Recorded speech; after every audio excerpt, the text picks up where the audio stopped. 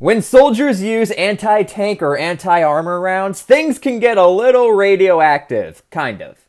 Now, in case you weren't aware, usually when you use anti-tank or anti-armor rounds, you have something called depleted uranium within these rounds. That's because depleted uranium is extremely dense and really strong, thus it's able to penetrate a lot of armor. But when you hear the words depleted uranium, I guarantee you all think, oh my gosh, nuclear technology. When in fact, it's actually the waste product of nuclear technology. Depleted uranium is the waste product of enriched uranium, thus it's almost useless in a nuclear reactor.